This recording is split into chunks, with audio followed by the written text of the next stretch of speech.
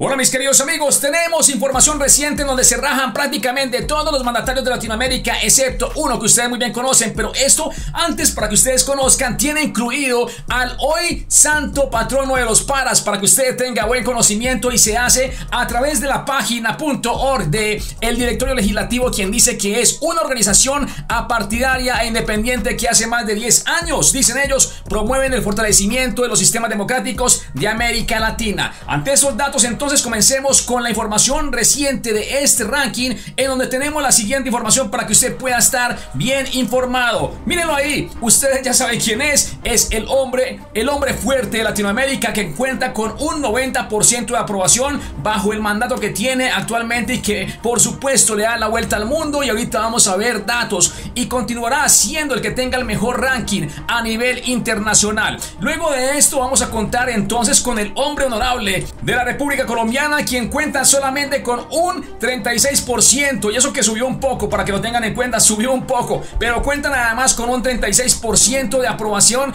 El hombre que se queda en las tablas quien es Gustavo Petro y que dicen que en cuanto al presidente de Colombia el análisis indica que Petro se ha visto atrapado entre denuncias de corrupción y tensiones con sus aliados lo que ha aumentado sus cifras de desaprobación hasta en un 58% según los datos. Ahora continuando con el ranking de los honorables eh, presidentes latinoamericanos, pues entonces vamos a darles también a conocer los otros datos que tenemos en este momento y ustedes pueden ver ahí cómo el señor Lula da Silva cuenta con tan solo un 56% de aprobación en imagen individual, pero tiene una brecha porque su gobierno tiene a tan solo una aprobación del 37%. Y ahí en adelante tenemos entonces al señor AMLO, quien se ha podido sostener bajo 5 años de mandato socialista en el país mexicano con un 66% y ahí en adelante pues mis queridos amigos, tenemos información de otros honorables presidentes de los eh, grandes países latinoamericanos, como en este caso sería el señor Gabriel Boric.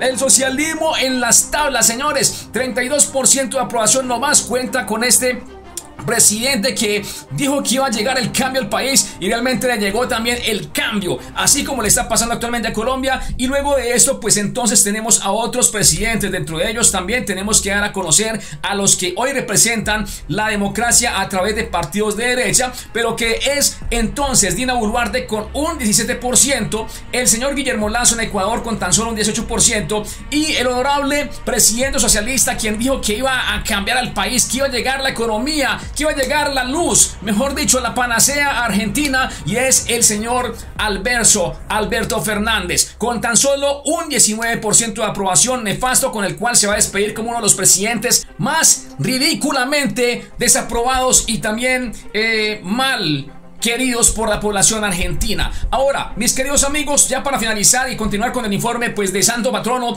de los reclusos, le digo de los de los grandes honorables gestores de paz en Colombia, tenemos hoy información reciente y es que el presidente de Colombia ha decidido aumentarle el salario a los honorables congresistas que tiene nuestro país colombiano y entonces ahora pues estarán ganando 43 millones de pesos para que lo tengan presente, es parte de la información en donde se dio a conocer a través de las últimas noticias que inesperadamente el señor honorable presidente de la República, el santo patrono de los paras, firmó un decreto que les da un considerable aumento salarial a los congresistas y se trataría de un incremento del 14.62% no más. No más, mis queridos amigos, y tenemos para ustedes la información que nos presentaban por acá de esa carta, esa cartica donde el honorable ha firmado para que todos entonces los congresistas tengan la mermelation y un incentivo para poder firmar las reformas de la salud, la laboral, la de la justicia y todas las que se le vengan en gana al presidente de la República. Y es lo siguiente, vamos a verlo en este momento en pantalla y aquí está.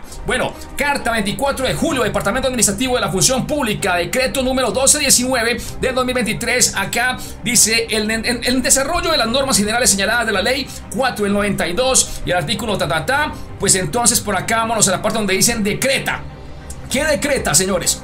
Decreta reajuste y asignación mensual a los miembros del Congreso a partir del 1 de enero del 2023. La asignación mensual de los miembros del Congreso de la República se reajustará en 14.62% no más. Y certificación del reajuste salarial en las oficinas de pagaduría de la Honorable Cámara de Representantes y el Honorable Senado de la República, pues entonces harían cumplir este honorable impuesto, este honorable aumento que le va a costar muchos impuestos, por supuesto, a los colombianos. Aquí decía el señor Daniel Briceño lo siguiente, entonces, para que lo tengan en cuenta ustedes, el presidente Gustavo Petro acaba de subirle el salario a los congresistas en un 14.62% con efectos retroactivos desde el primero de enero de 2023, o sea que le va a llegar un billetico desde enero hasta julio que viene devengando porque esto es un retroactivo con 43 millones 418 mil 535 pesos que le van a costar muchísimos sudores y sacrificios y levantadas por la mañana, por supuesto, madrugando a todos los colombianos. Este sería el nuevo salario.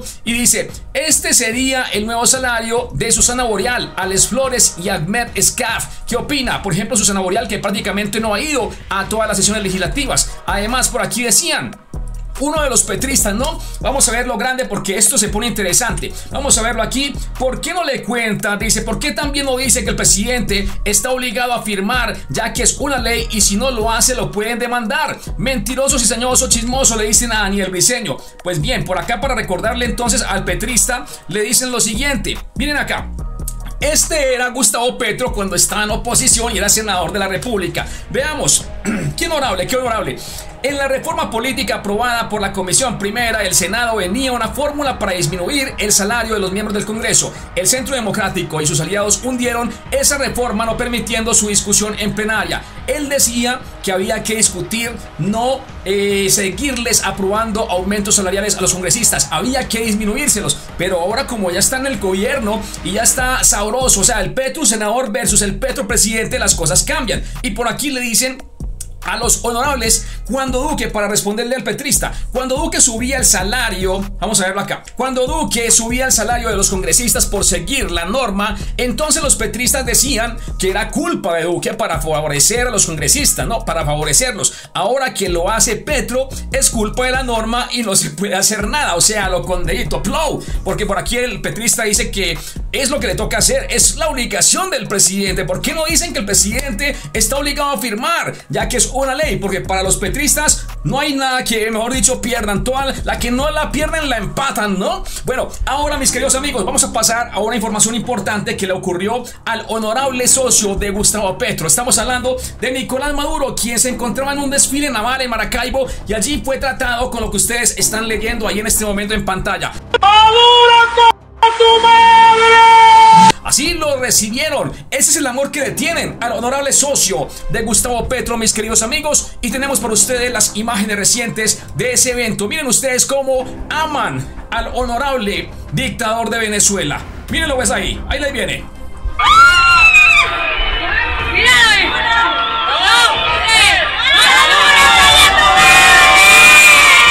Lo repetimos. Ese es el amor que detienen a los socialistas. Miren, ¿Por qué? Porque se lo ganan, porque tiene 7 millones de migrantes salidos fuera del país y que están huyendo de las condiciones eh, irrisorias y también crueles con las que estos socialistas se sostienen en el poder durante 24 años.